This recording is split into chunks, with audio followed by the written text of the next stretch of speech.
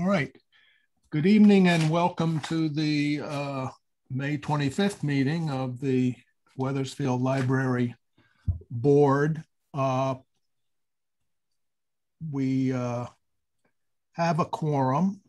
Uh, I guess we'll take attendance. Uh, Anna? There. Hi, here. Laura? Lori, here. That's right. Oh, no. Amanda? Sorry. Here. Mary? Here. And Terry? Yep, here. And I'm here. So we officially have a quorum. Uh, Martha and Peter will not be here tonight.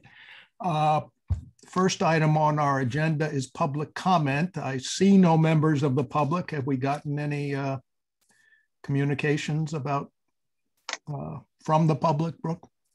No, I've received nothing uh, in snail mail and I've received nothing over through the email through the instructions. On the Okay. And, and additions, changes to the agenda, I'm not aware of any. There are none, okay. Uh, next item is approval of the minutes. Is there a motion to uh, approve the minutes of the April 27th meeting? I move that we approve the minutes. And second? Amanda? Uh, any discussion, changes? I don't see any. I have none. Very good job, Madam Secretary. Uh, if there's no further discussion, all in favor of approval of the minutes, uh, vote aye. We'll do a roll call vote. Lori, Aye. Amanda, Aye. Terry? Or Terry, were you at the meeting? No, so you'll abstain. Uh, Hannah, Aye. you must have been there. Mary? I wasn't there. Yeah, so Mary abstains and I'm an aye. So the minutes are accepted. Uh, Town Council liaison report. Kevin probably will not be able to be here, but if he arrives, uh, we will hear the report then. Uh, chairman's report, let me check my texts. Uh, I know Martha did not have very much to add. Uh, Brooke, as I understand, the, the Friends have approved the library or the summer reading money. Yes. Okay, So we, we want to uh, make a special thank you to the Friends uh, for that. Uh, we uh, really appreciate their contribution. Uh, the uh, budget consideration is, well, Brooke, you can report on it in, in your report, but we, we don't know anymore, I take it at this point, uh, about the town budget. Uh, and the next meetings, uh, just as a reminder, we have a June meeting, which would be the fourth uh, Tuesday in June. Uh, and since nobody's helping me out, I would say it would be the 22nd. That's correct. Okay. Uh, and I bet we have a, no, we're waiting to set a governance uh, committee meeting, partly, I think, pending the budget uh, uh decisions. Uh, and Brooke, I, I, are there any other meetings? Um, I have, committee meetings. I think that we have, I can, I would like to tentatively set the date of Wednesday, June 16th for the next governance meeting. Okay. Uh, There's two things that might affect that.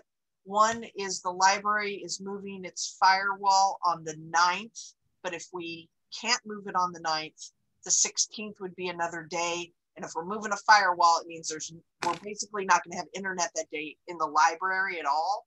Okay. So the 16th is actually a backup day.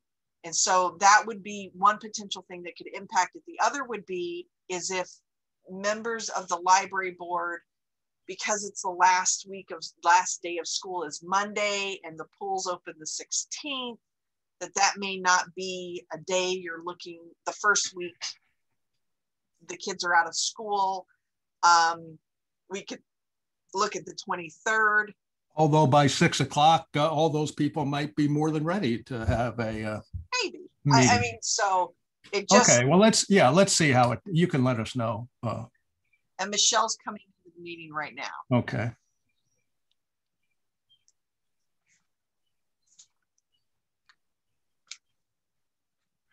But that's the only other um, meeting. Okay. Uh, All right. Hi, Michelle. We've held off on anything important till you got here, so don't worry. We're, uh, Sorry, my computer no. was lagging today.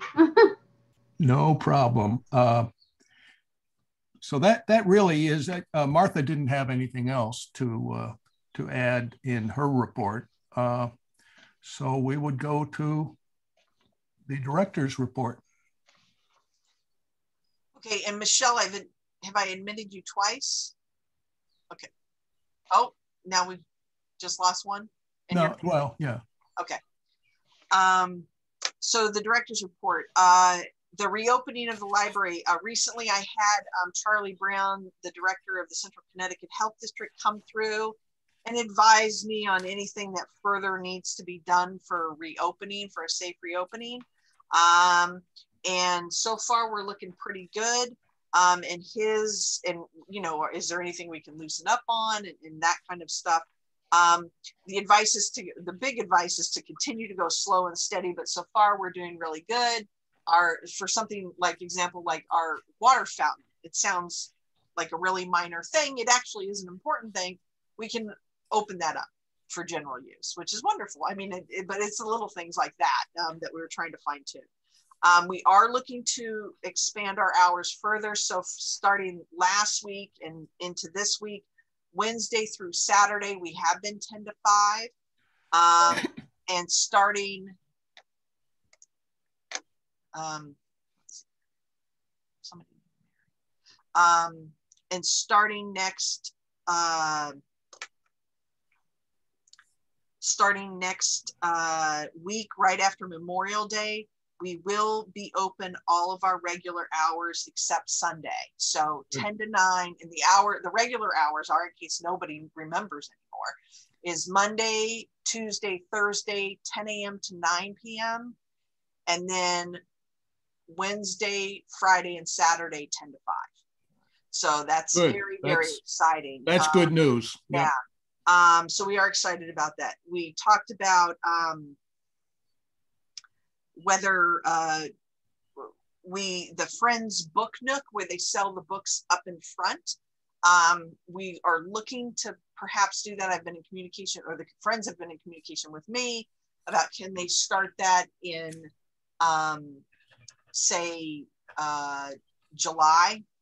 And we're looking towards July to start selling those books in a good year that can generate between two and three thousand dollars in revenue just the book nook alone. Um, and we and i spoke with him about a book sale. And most of you have attended our book sales and kind of know the dynamic it takes place. For those of you who don't it takes place basically all over the children's level. Um, a lot of libraries that have had book sales have done it outdoors and that would be the ideal. Um, but we're just not we're not really sure and he didn't want to say yay or nay to a book sale i think it would be difficult for Wethersfield library to actually have it outdoors there would be a lot of manpower involved getting the books from the basement to the like say the part if we were to close off half the parking lot um, so there is a logistical thing. It's not as easy. Um, a, a lot of the volunteers are seniors. They don't have the physical manpower. They have difficulty getting the volunteers that have the physical manpower. And that's been an ongoing problem for years. Um, we, the ramp is, you know, put it's it's a wheelchair. It's meant for wheelchairs. Um, book trucks fully weighted is quite heavy going down and can run away from you. And then there is, if you were to say, take it out through my office area, out through the town hall doors, you're going over like brick. I don't want to say cobblestone, but it's it's not Mhm. just smooth concrete, and it is sloped more than you think it is. And so that logistically is a big problem. And out the back, there is no ramp out the back. Um, there's steps everywhere. And so that presents a problem. So, um, you know, we'll just have to kind of see if an outdoor book sale is possible. I don't know that it would be, or if we could do something inside and just, if necessary, really control the numbers that go into the children's department on that day. But it is difficult because on the on like a Sunday bag sale where it's you know a bag for seven dollars or what stuff a bag or whatever they do, you can get up to 200 people in 15 minutes heading straight for the children's department, and that's just too many people to begin with. But it's quite quite a quite the dynamic. So. Um, Look, for the bag sale, it, it, it- people, do- oh, yeah, people choose the books and put them in the bag. It's Bag, not like, yeah. so all we're right. just selling the little the Yeah, bag, yeah, okay, or the friends are selling the bag. right. Um, so that's what we have for reopening. Um, union uh, negotiations are uh, ongoing um, with the library's two unions. We're hoping to wrap it up soon, um, but that's that's as much as I have to share about that. Um, recent programming we've had at the library, um, our weekly preschool programming on Facebook that has an accompanying play and learn kit that's that um, families can come in and get. Um, that's done by Bree. That's been going in April and continues through the month of May. We recently had a local author, uh, John Christian, did an author talk uh, recently. Um, and we had a backyard composting program um, recently as well. Some upcoming program, the things that we're focused on is we are doing um, several virtual class visits um, for the elementary schools. And then we do a recording for the seventh and eighth grade. And that's really to promote summer reading. So this during the month of May, we normally have the some first grade, all of third grade, and all of seventh grade coming into the building like every other day, all the classes. Um, and so we can't do that now. They're not doing field trips, and so um, right now we're doing them virtually. And um, the schools have been very cooperative, so that's uh, wonderful as well. Um, we have an upcoming gardening program, keep keeping your vegetable garden happy and healthy through the growing season is coming up. I believe that's next Tuesday evening. Um, and finally, we have an upcoming program about bobcats in Connecticut. Um, and so that's part of our uh, summer reading uh, programming. Um, and it, it fits in with the theme of Tails and Tales is this year's theme. Uh, summer reading um, for everybody starts June 14th. Um, every single board member is expected Hannah, did you hear that? I'm coming for you, George. Yeah, Right? but- This is- But, So but you can't, it doesn't count books that you started before the 14th. June 14th, George, we should meet at the library, pick out our summer reading book together. All right. So the board, minus maybe these two, is expected. Because it's not a contest after all. not a contest. No. Um, and so uh, expected to sign up and participate. Um, yeah. So Brooke, that's Brooke, forgive me, it was Tails and Tales? correct. T A I L S and T A L E S. That's what I thought. I just wanted to make sure. Um, We could make it a contest, an internal contest. Oh, it is Lori, already. you were close. Don't Lori was close one year too. I think she, yeah, I know. Right? Not competitive. not competitive at all. And I mean, I didn't even uh, something for just off the side. Uh, the outreach committee, you know, if we enter that, forget scarecrows on Main. We've already been there, won that year one that we entered. Um, if we do bicycles on Main, it's not even a contest. And like, I don't even want to say that, but like when we, I'm sorry, when we enter, we will win. that's how we play. And so and so and but we don't accept the gift from you know the old shopkeepers network that's not appropriate but we want the blue ribbon that's number one prize so um, we'll probably get into it next year so as an out future outreach committee kind of thing because um, we're not competitive at the library um, finances um, review of showman and the other in the library account does anybody have questions from the charles schwab statements at all Okay. Don't see any. Okay. Um, and uh, the current review of the budget for fiscal year 2021, the latest the latest financial statement. Did anybody have any questions? We're getting close to wrapping up. So books and other material, we're trying to wrap up that spending. Um, they have till June 1st. My staff begged to have till June 3rd or 4th.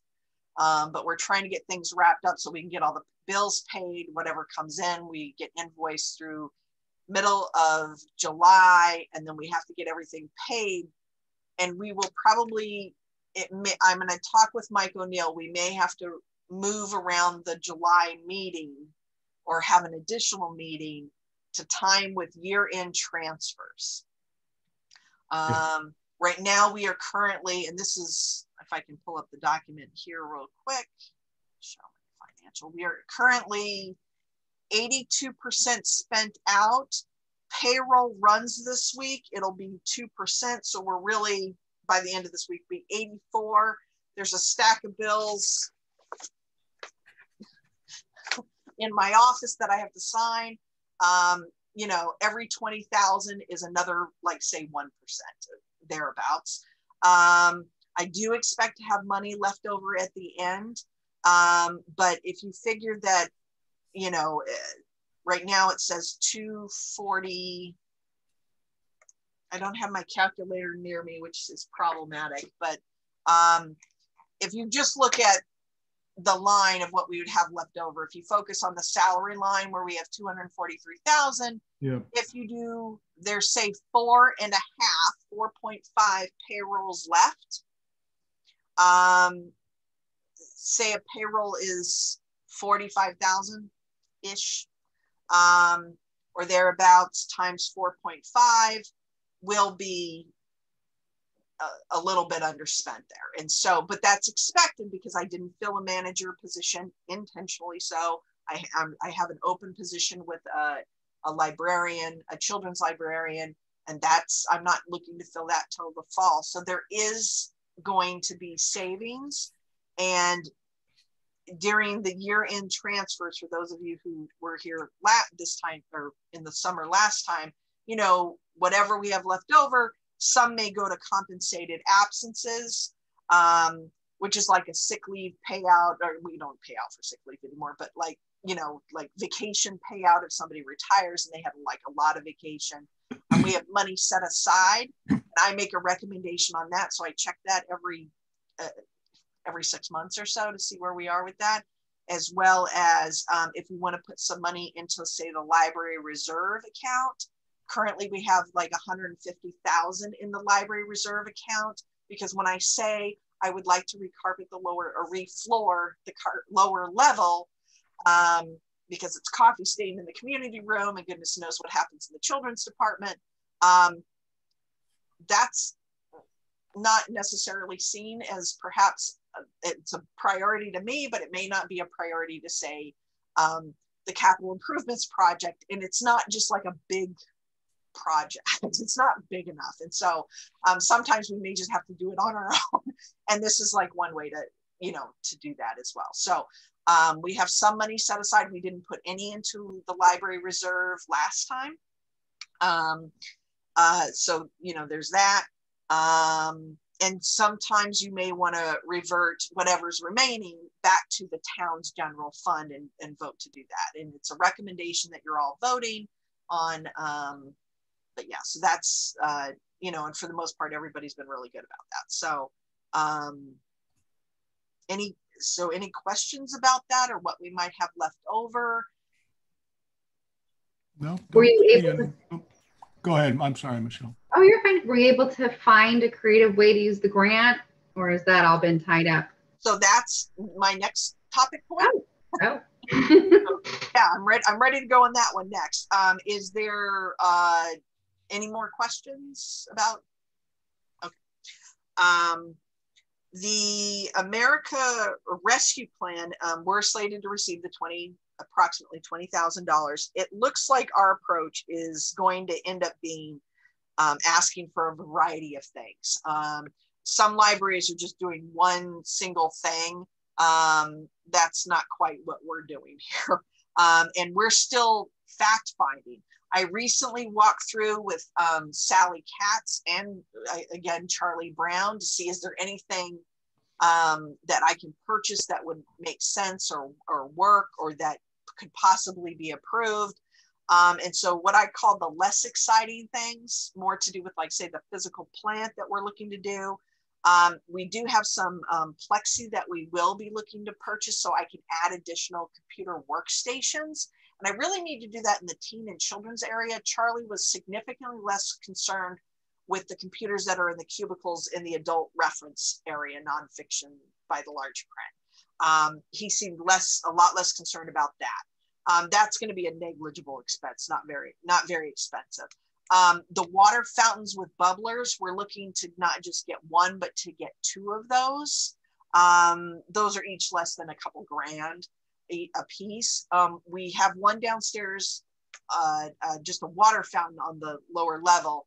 Um, and then we're looking to put one up on the first floor. We did have a coffee bar, um, but we haven't had one for a number of years, and we're not able to find the coffee machine that we want um, that fits that current cabinetry that we have there. Um, and so we're just not able to get what we had previously. And we have been shopping in earnest a couple, uh, like about a, well, before the pandemic, but even prior to that, and just couldn't find it uh, what we wanted. So people enjoy being able to buy like a, you know, a dollar twenty-five coffee, uh, but they, we also get equal demand for people requesting, do you have like a water fountain up here, or do you have um, a water, you know, a bubbler?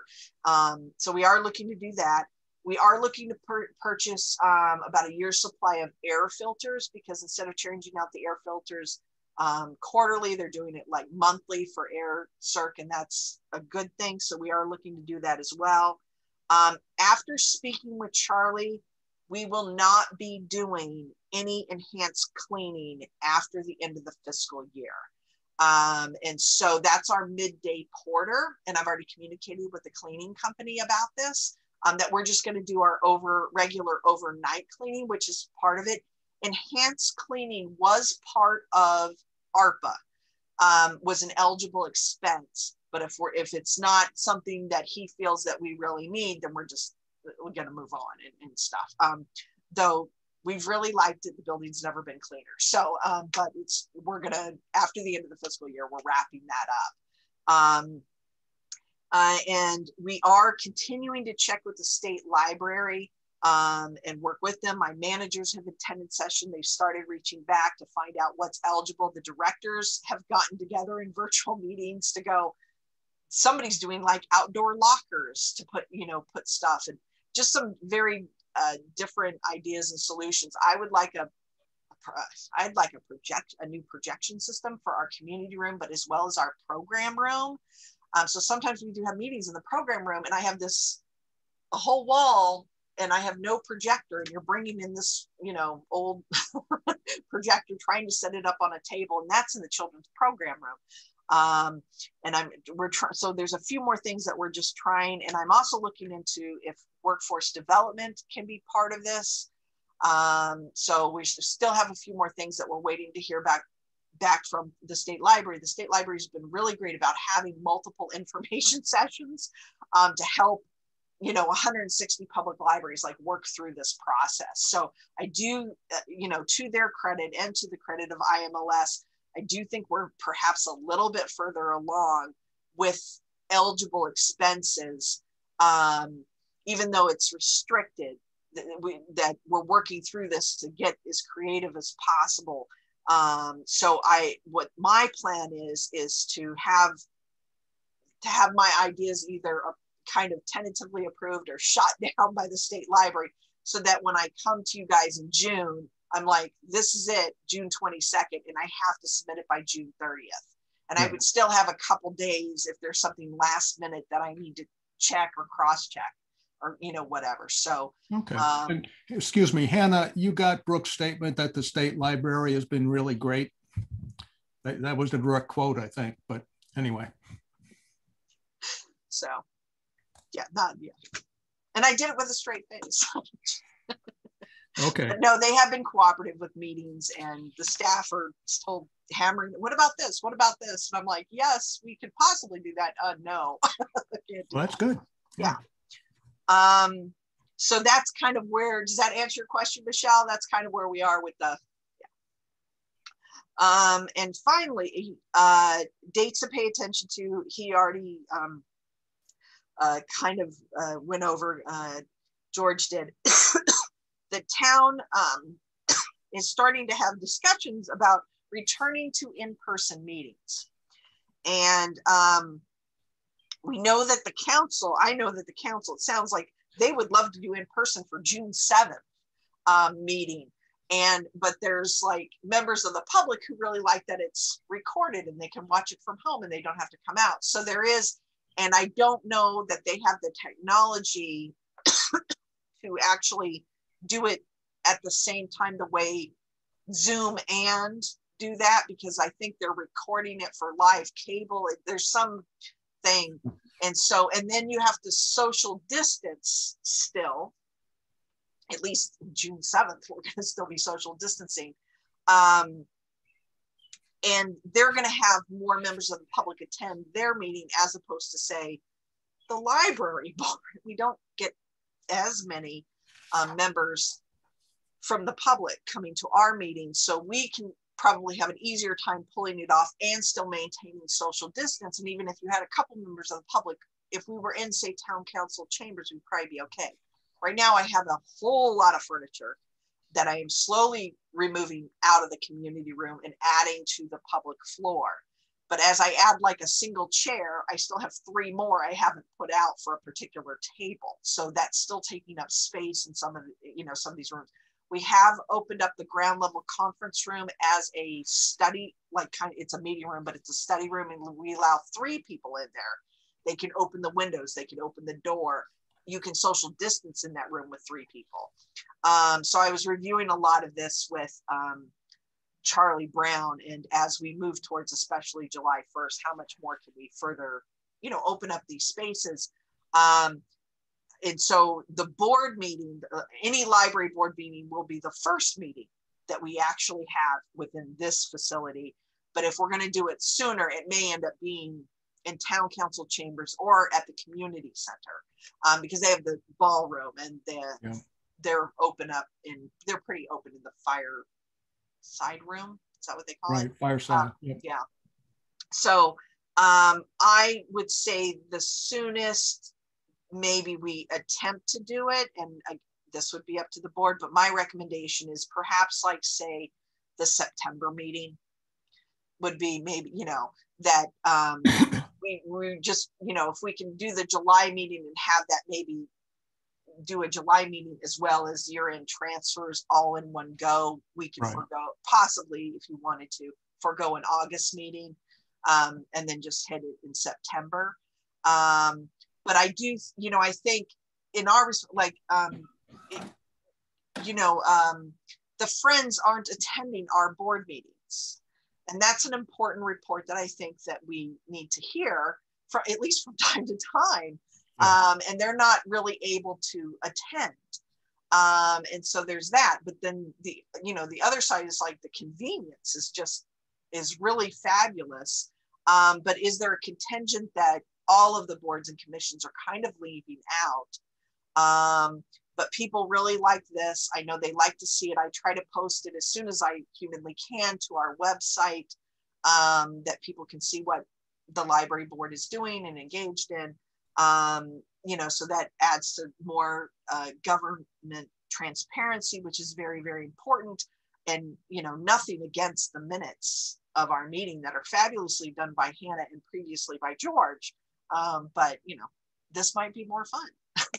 so um, to review. Uh, The minutes are better because I can go back and watch the recording. well, there's that too. Um, Let's be honest. and then the other aspect is like we do live in Connecticut and it snows in the winter and this is nice. It makes it easy, you know, or you know, and the board is very kind when they're like, um, Brooke, you need to go home. It's snowing like an inch now, like you need to, you know, head out. And so, you know, there that, you know, I, it's very kind. Um, but there is that aspect as well. So, you know, something to kind of keep in mind, but I, I think the soonest, and I'm not sure what really, I have to do research on what the requirements moving forward are. Um, and so I don't know if there's like executive order. I'm, I'm not sure what we're required now as a board to do. You know, I'm not really sure what that dynamic is anymore. Um, and I think Gary has a, a slightly better sense, and I need to just check and make sure that we're so we can take whatever our, the requirements are. we can take our cue from the town and, uh, okay. So It will be nice to get together. I think a mix could work. Okay. So, That's Um, and that's what I have. That's what I have for the director's report. Okay. Well, don't go away because the governance committee report is next. And uh, it looks like uh, there's more to it than there is, not, not uh, and I guess we should have some discussion first and then we can address these motions. But the first two items are the discontinuation of the deselection of materials policy and the selection of materials policy. and that is not because we no longer care about selecting or deselecting, but uh, Brooke and the uh, uh, the managers and staff have put together a uh, policy that we think covers all of that uh, very effectively. But that is up to the rest of you. So, uh, uh, Brooke, I, I could pretend to explain what's in here, but uh, you actually know, so maybe you can walk us through. Absolutely. Um, so which policy did you want? Well, the, why, we're discontinuing those two, first of all, because they really are uh, incorporated into the uh, uh, collection development and maintenance policy. policy. Yeah, so um, we were, we tried to outline if we look at the, if we look at the collection development and maintenance policy, any, this is really getting to who uh, and why we select what we select. uh, Or the, I'm sorry, the criteria that we use for selection, that the library staff use for selection.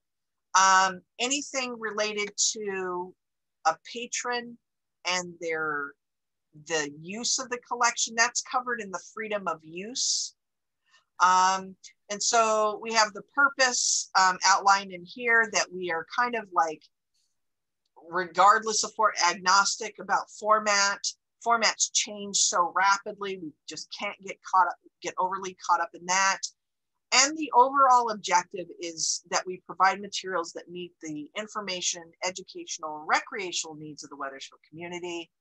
Um, this policy talks about who is responsible for collection, the collection development and maintenance, um, and it's staff that I designate. 99% of the time that is professional librarians. Um, and on some other occasions, it's other staff who may have expertise. I have a, a staff member who's like has a master's in art, and so she's very helpful.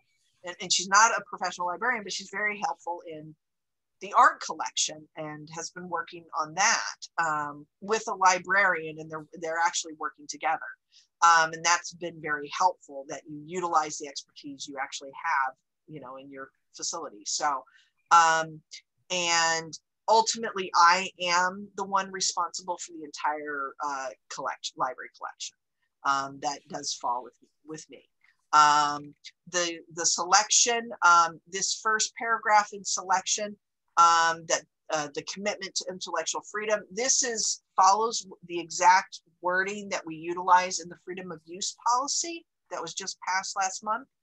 Um, uh, you know, and then we just have you know, different things in this policy. I'm assuming most people are on the committee, and I'm assuming everyone who isn't on the committee has, has read this. Um, you know, any borrower can make recommendations for, for us to consider. Um, you know, we're basing it not on anticipated approval or disapproval that we know that the book may be hated or loved, you know, like doesn't, that's not, doesn't really equate into whether we purchase the item. It may go into how many items we actually purchase um, of that particular title. Um, we're not inhibited by that it may come into the possession of children. Um, we do not um, show approval, the library staff do not show approval or disapproval of a particular book. Um, we use standard cataloging methods as well. Um, everything's on the open shelf unless we're protecting it, um, you know, especially from mutilation or theft. Um, and so we may designate things as, as reference, but they're still basically on the open shelves anyway. Um, we use reviews um, from primary sources. These are not, when we talk about professionally recognized resources, these are not Amazon reviews. Um, and so, and, and that's difficult for like say a self-published author or a local author if they're not well known.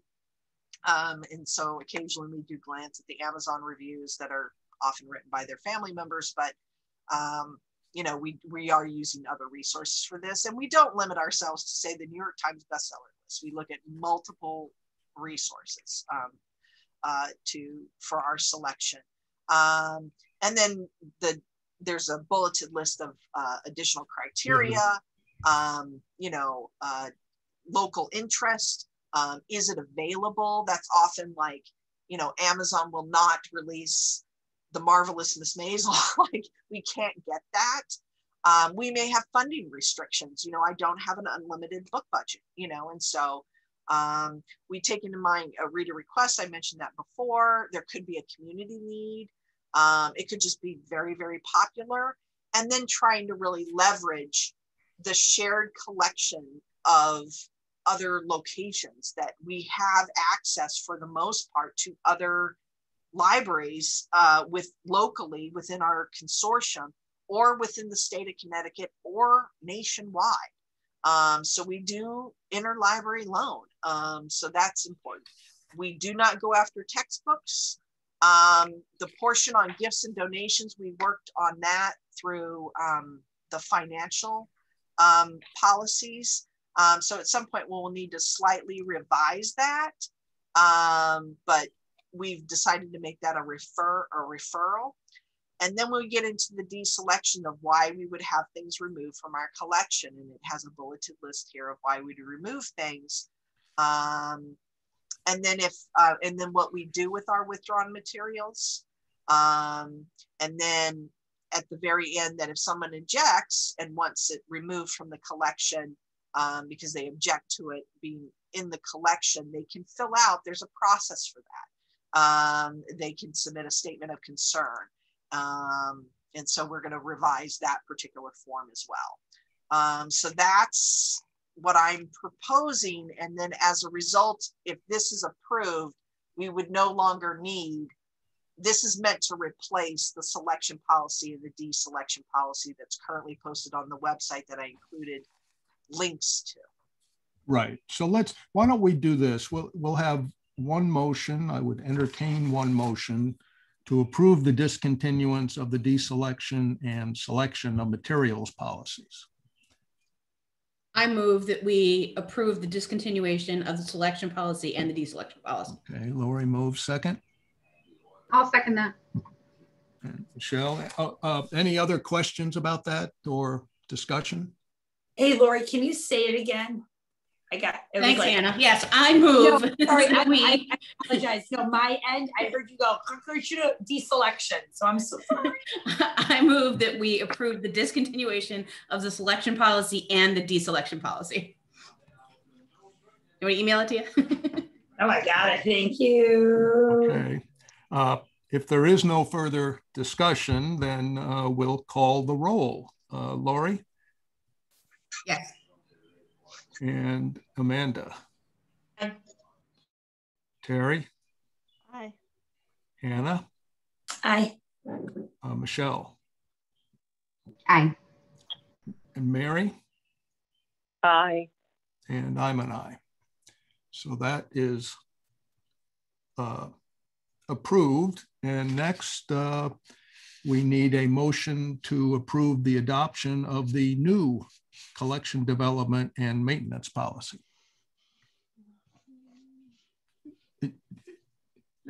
Hannah, if you have that, somebody can just say so moved. So, So, so moved.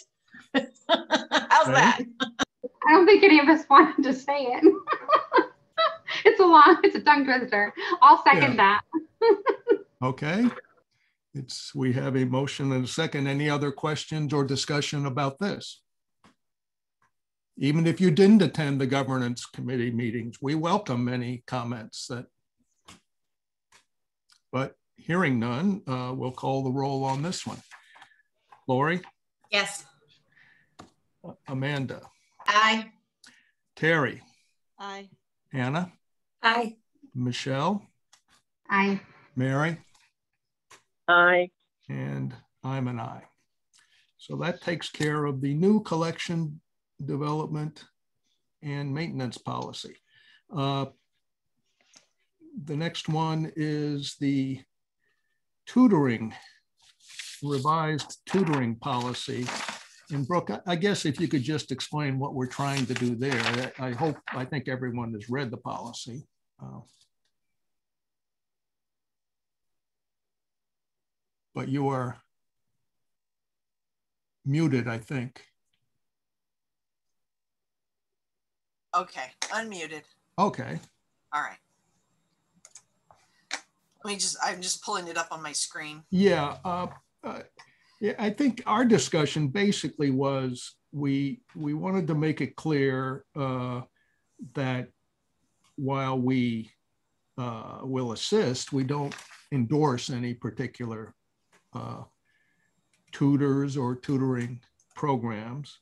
Uh, And this is not a place for promotion advertising of, of those services.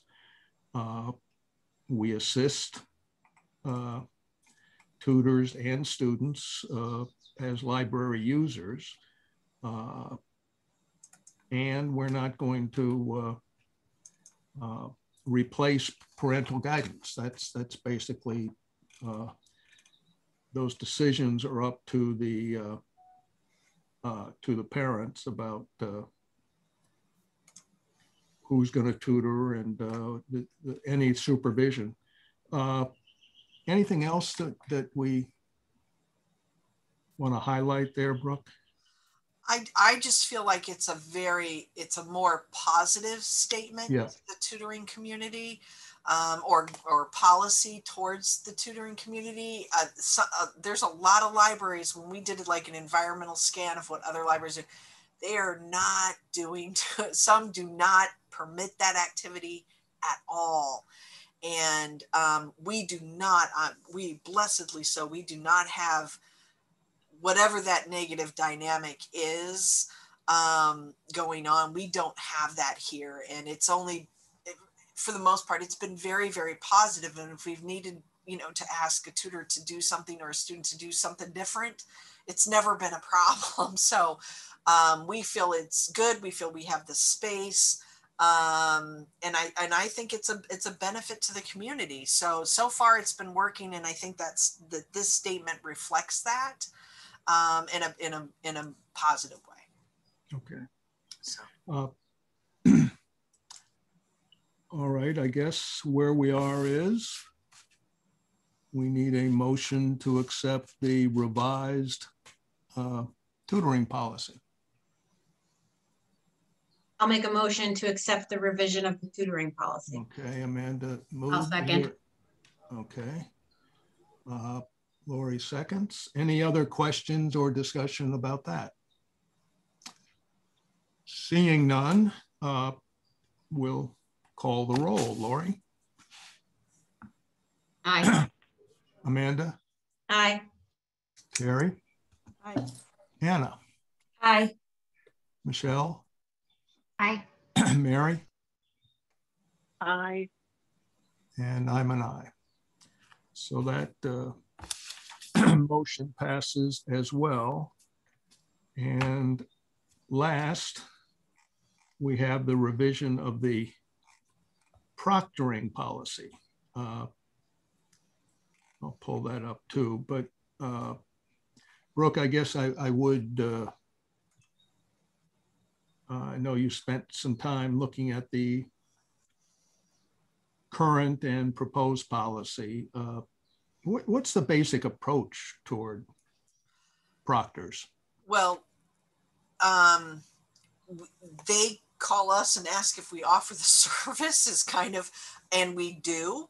Um, some libraries charge. Uh, we do not want to go in that direction at all. Um, th- that's kind of my sentiment as well as the staff's. Um, it is not onerous. We don't get such a demand um, for that. Um, and we feel the the current proctoring policy.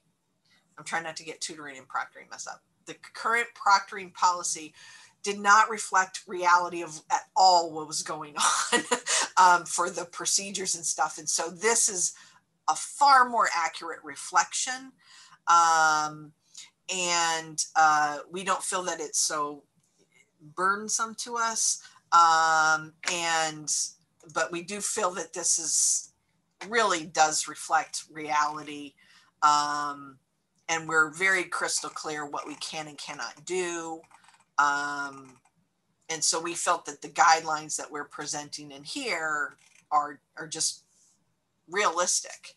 Um, and, and so that's, you know, currently we only have one staff member who actually administers proc proctors um, and we wanted to be clear that it could be a variety of our staff members and we would need to train them to you know the procedures that we do and try to follow but um, Yeah.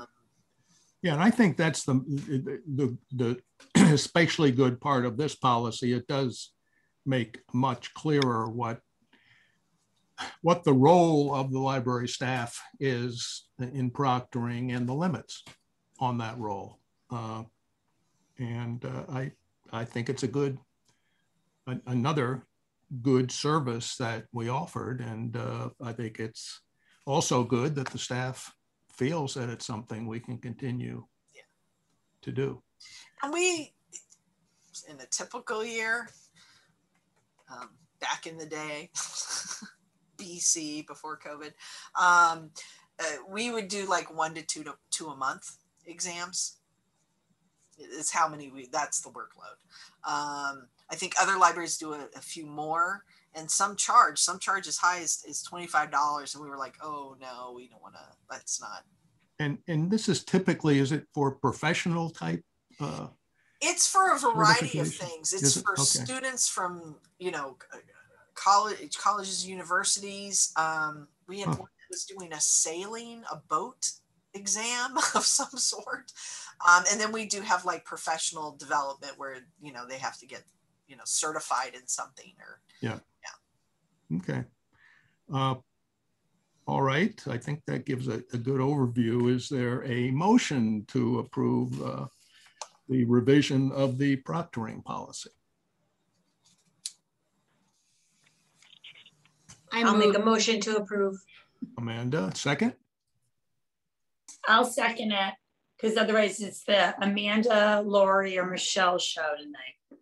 Okay, Mary well, tried to Fine. time it. Mary, well, yeah, and see, Mary, I, I've probably haven't heard Mary a couple times when she's wanted to proceed. I'm, s- I apologize. Uh, But Mary can do it, that's fine. You can put her on there. Okay, I'll leave that up to our secretary. Uh, We will now vote. Lori, aye. Amanda, Aye. Barry, H- Hannah, Aye. Michelle, Aye. Mary, Aye. and I'm an aye. And that, uh, that means we've adopted that revision and uh, I believe we've come to the end of the agenda. Is that right, Brooke? Yeah. Okay. Uh, Thank you all. Uh, Mary, I would entertain a motion to adjourn. Uh, I adjourn. Okay, is there a second? Second. Okay, we're gonna, we're gonna do this one more time. Uh, I- we'll go back. Mary, Yes, motion to adjourn. okay, and you vote aye? Aye. Michelle, Aye. Hannah, Aye. Terry, Aye. Amanda, Aye. Lori, Aye. and I will also vote aye. We are done. Thank you, everyone. Thank you. Have a nice evening. Yeah. good Good night. night. Good work. We got a lot done. Good meeting. Nice job, George.